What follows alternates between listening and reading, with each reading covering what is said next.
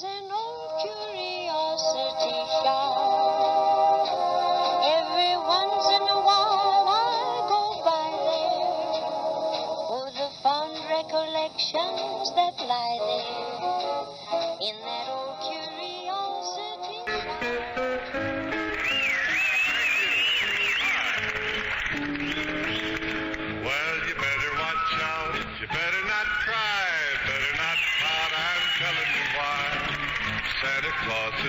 is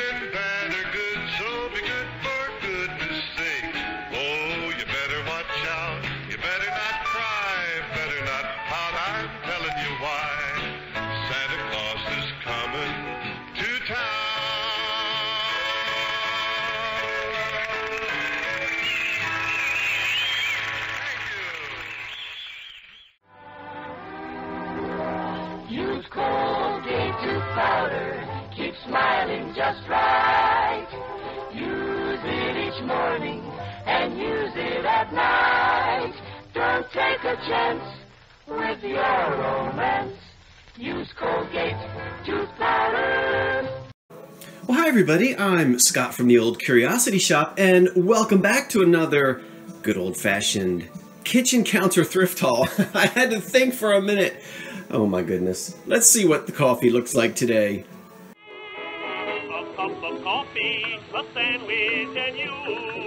A cozy corner, a table for two. Okay, today's cup of coffee is brought to us by, yes, the uh, Anchor Hocking Company, and this is their classic dehandled mug, which dates from the late 40s and was manufactured through the 50s.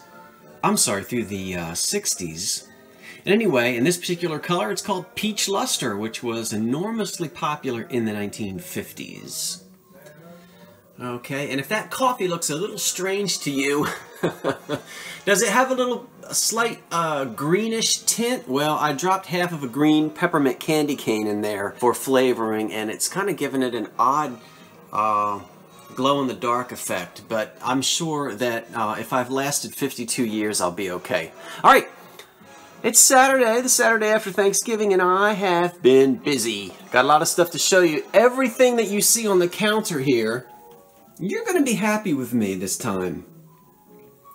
Everything is for sale. I'm not going to tell you, oh no, sorry, I'm keeping that. And it's all currently listed, so if you see anything you're interested in, go get it. Uh, or go take a look. Uh, lots of pictures that are in much uh, brighter condition and uh, more detail, so... Uh, or, you know, you don't have to buy anything if you're just interested in looking and doing some research. Um, take, it, take a look. All right, let's get this out of the way. And we'll dive right in and start talking about this beautiful stuff.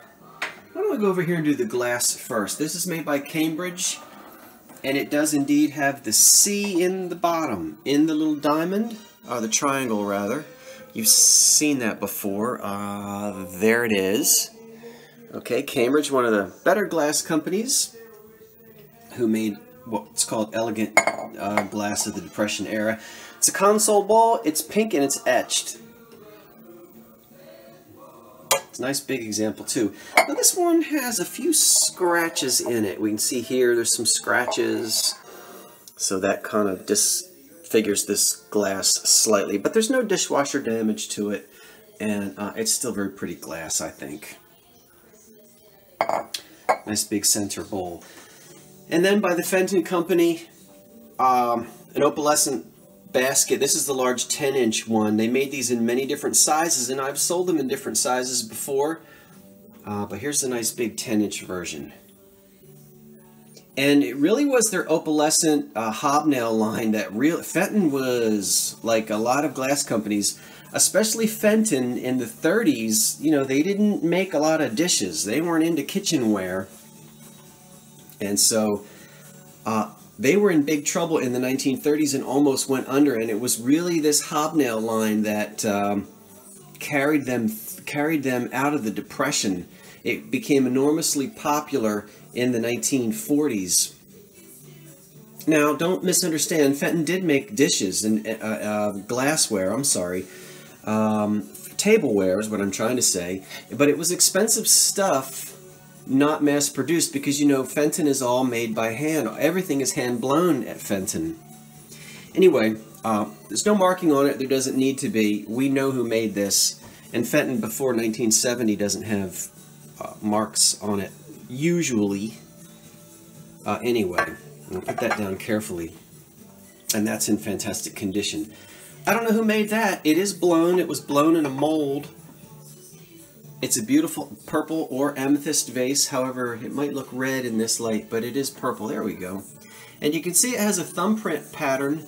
That line, that vertical, well, let's make it horizontal. That horizontal line you see right there is a mold line, M-O-L-D and we can see that the bottom has a polished pontil. This was blown in a mold and then the hand, the hand crimped the edges of it. And I said I'm kind of teasing you because I'm going to do a video where I'll sort of talk about pontil marks and mold lines and inclusions and bubbles and what's a crack and what's a flea bite and so forth. But won't do that now.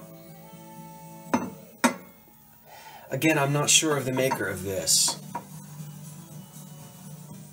Uh, but it's a nice large vase and it's in really good condition and just a beautiful, beautiful color. Really shows up in, in the bright light. Okay, all right, so that's, a, oops, that's a nice one. All the way in the back, you'll recognize a couple pieces from my fall decor, which I've decided to sell, my autumn decor. Um, hey, it just gives me an example to go find more for next year. These are two, let's see, this, this one is blown with an applied handle. It's a beautiful amber uh, pitcher, which has a maybe a hint of green in it. Actually, that is the color of my eyes right there. Hazel, amber with a hint of green, sort of. Um, you can see the handle is applied. And this one is also blown, and that has a rough pontil on the bottom. And then here's another one over here. I really like this one. With this uh, optic effect, ribbed optic effect. You can see it's blown in a mold. And uh, I like all the little bubbles in it. It gives it a real old-fashioned kind of a colonial look. Okay, so these are nice for the autumn decorating season. Here are four tumblers by Hocking Glass. Uh, they had not yet become Anchor Hocking. And these are the Rib Optic pink tumblers. I think these are the little 5-inch ones in pink. It might look crystal. As I've said before, pink is hard. It's hard to get pink to show up sometimes when I'm filming, but uh, you'll have to trust me. Oop, trust me on that. They're pink. Pink, pink. Pink, I'm told, is the in Christmas color this year. I don't know, but that's what I'm told. And these are from the 30s.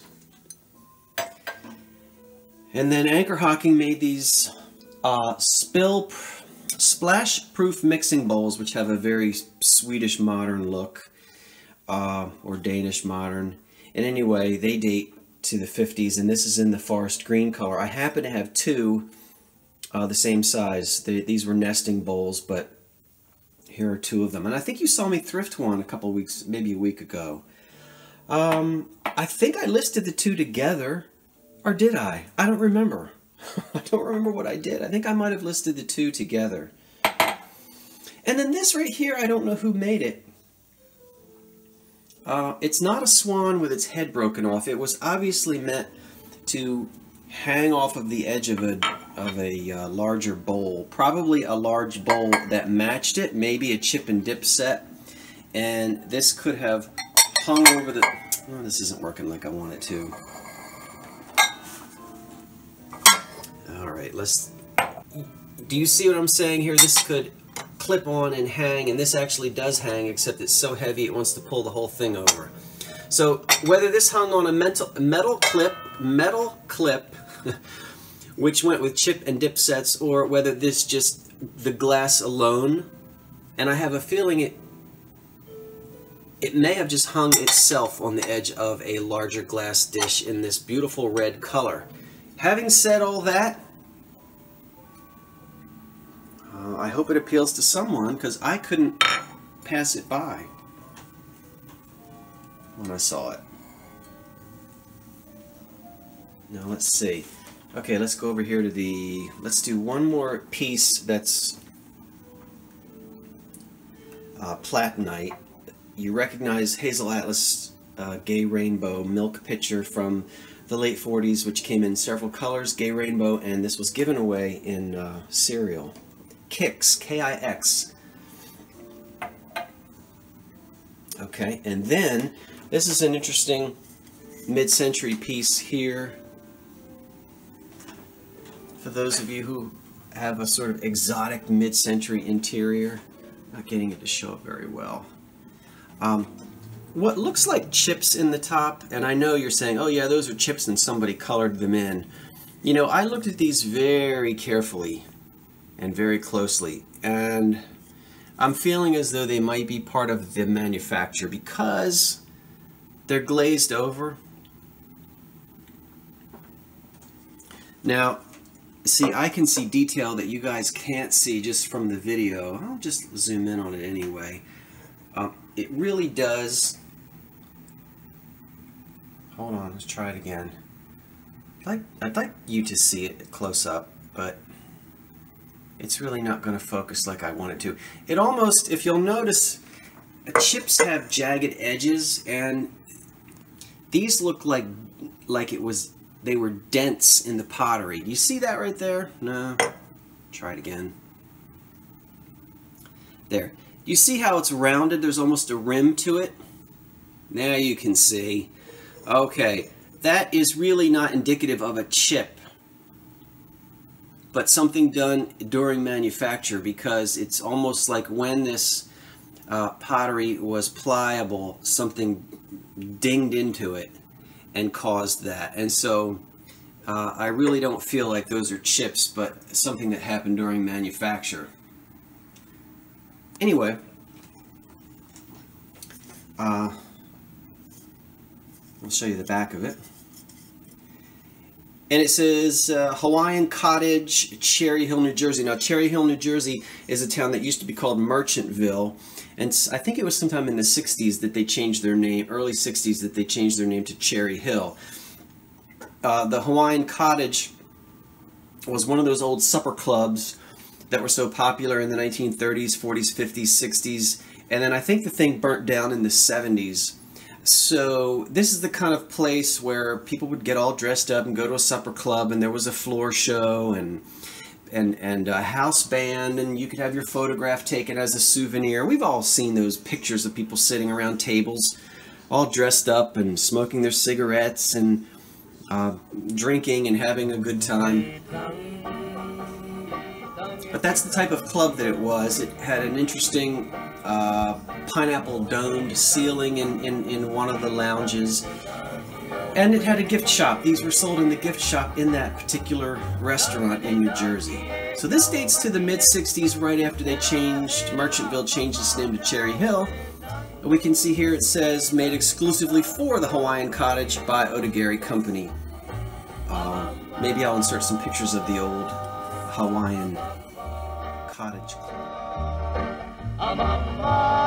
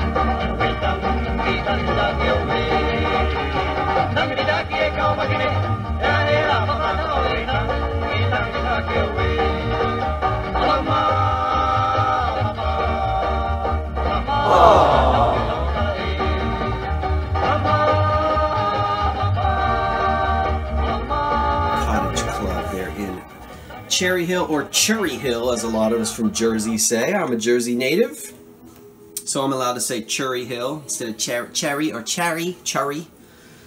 Lots of funny accents in Jersey. And then German bisque right here. I don't think these are old, but German bisque is always well done. Well done. You guys are well done. Get over here with your little baskets. Give you a close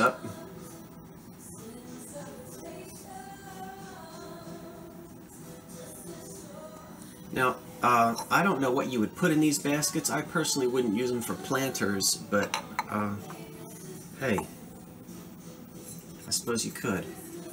Uh, okay. So we just have Germany and then I guess a mold marker, a production marker, something like that on the bottom. Uh, I don't know the age of these, but there's just something that's telling me they're not uh, old.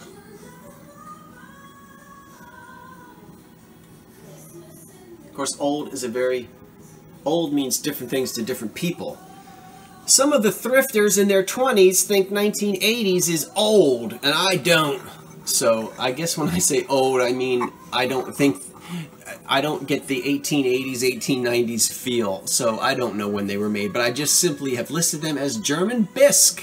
And these are in really good shape.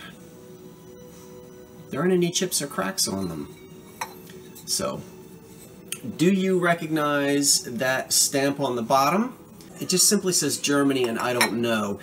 And while we're on Germany, let's pull this chick out. She's also not old, although she looks it. That's a hairstyle popular during the American Civil War in this country, United States. Uh, 18, you know, 1850s, uh, 60s. So it's a it's a mid 19th century popular hairstyle, but this doll is not that old. These things were made again in the 70s and 80s, and this one also says Germany on the back. And the way it's printed under there uh, is very similar to the way we see it here. So, uh, again, this is not old. I don't know what company made it in Germany, but maybe the doll collectors do. There's nothing under here, so we're not talking about uh, a piece from the Civil War era, but a relatively new piece. Now she's in great shape, as you can see. The porcelain is beautiful, the paint is wonderful. So I guess I need to bone up on my German porcelain and bisque and so forth because it's not it's not all as old as one might think.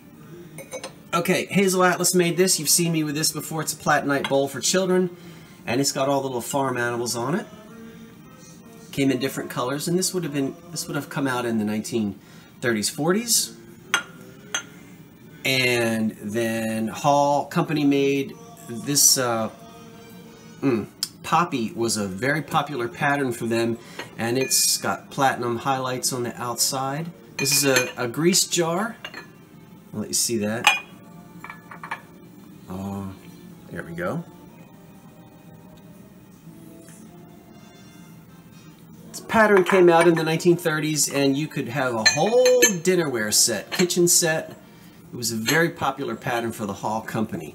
I've shown you this before, the Scottish clans and their tartans. This was published in Scotland in 1955. I have no Scottish blood, but for those of you who do, look inside. You can see all of the, of the different tartans, and it says right there, and their tartans.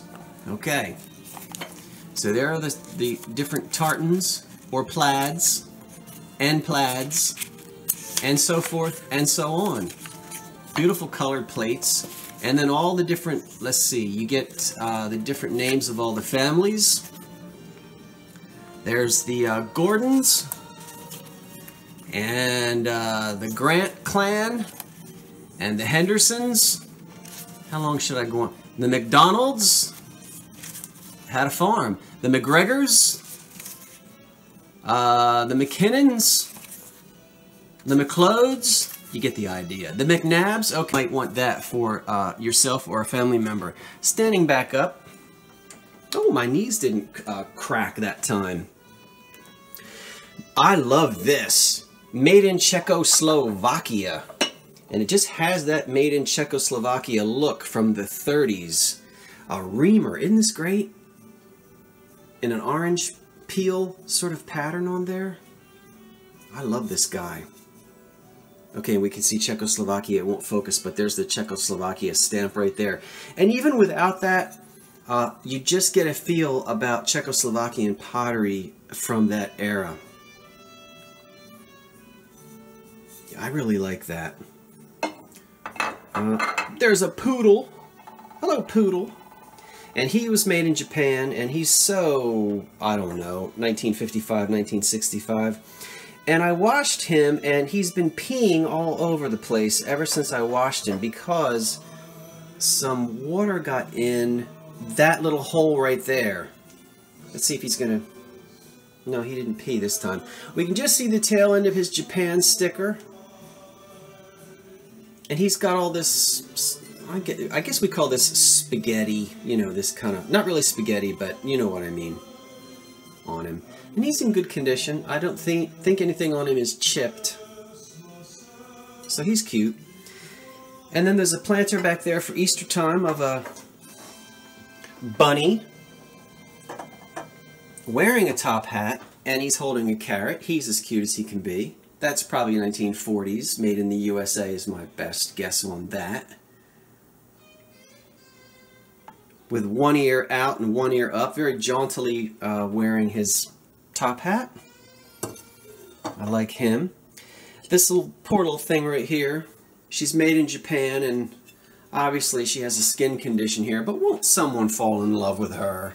Come on now. I, I had the most wonderful conversation with a lady in the thrift store. We both sat there and said, oh, bless her heart, and we reached for her at the same time, and the other lady wasn't going to buy her. And she convinced me to buy her.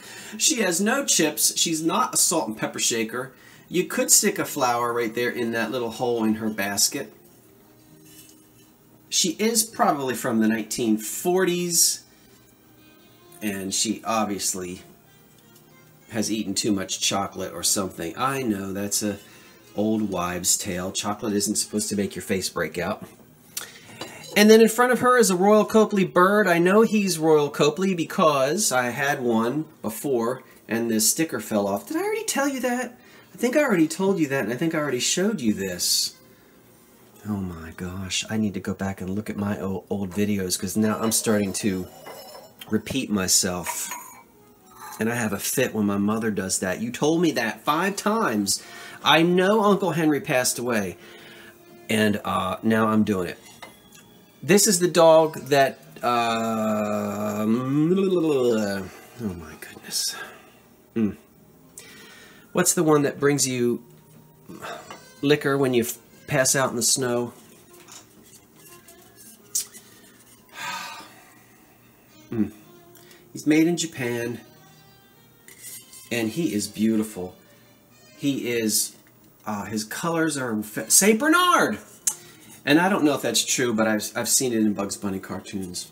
He, his coloring is beautiful. It's a, a very, uh, almost a matte uh, glaze, very soft glaze, eggshell, I guess, not matte, I guess I'd say eggshell, and beautifully done. I just love the paint work on him, very lifelike is he, and he's uh, one of those mid-century made in Japan pieces. The kitty, I think, is Royal Copley, and we'll bring her out. Okay, sassy looking kitty. Mmm. Uh, okay. So, kitty's cute. I've had this kitty before, and there's not, well, you, you know, you always see that fine crazing on there, which I don't really consider damage, and crazing really doesn't bother me on pieces of porcelain. We talked about the Hall company who, uh, let's see, made the poppy, red poppy. Hall also made this little milk pitcher.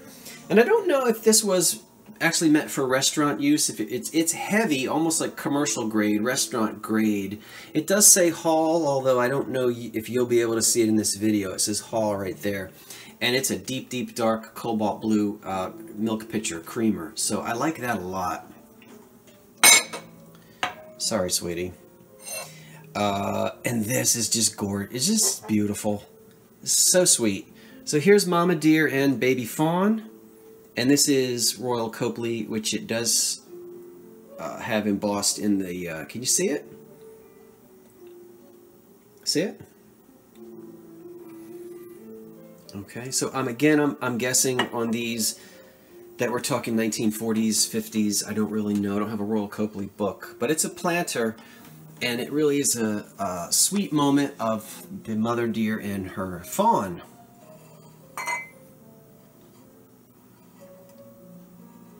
And there's no, uh, this one doesn't have any crazing on it. Okay, and it also is chip free. I actually like displaying it both ways. But um, I fell in love with that when I saw it because it's just, it it's depicted uh, very tenderly. Very well done, Royal Copley. And two more things and we're going to wrap it up back here is, I think I showed you that before so we won't get into that too much, but it is a late, uh, mm, Anyway, the, it's all in really good condition. The only issue with any of this back here is the two cruets are missing their stoppers. Not a big deal. I see matching cruet stoppers all the time. So I'll let the new owner decide what they want to put in the oil and vinegar. And these have no spoons. The silver spoons are missing from these. And this does open up, but it, this one is stuck at the moment so we're going to leave it closed. They open and close, and then the salt and peppers are in the back. This rotates this way, okay? And this is from the late Victorian era, this piece.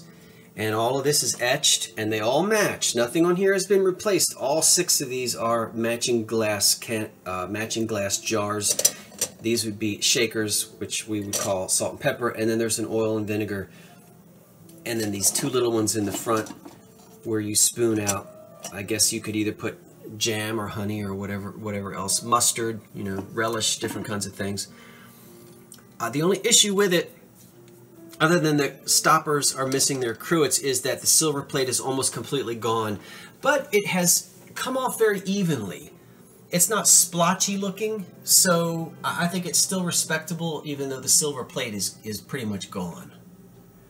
All right, and then finally from the 1950s in black and pink. I love it, love it, love it, love it. Our two casserole dishes, and I'm selling these together as a pair, and these are, I think, made by Cronin, uh, and it's Bake Oven. Bake Oven, see it right there? Okay, USA, Cronin Pottery Company, I think, if my memory is serving. And these are both in excellent condition. There's no chips or cracks, and these things don't, I don't even think they've been used.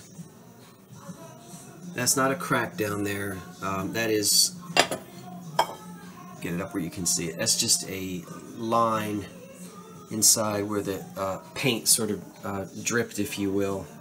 All right, I know that's not showing up well because I've twisted it out of the light. But let me back up and did I, oh, I forgot something. But I did show you this before.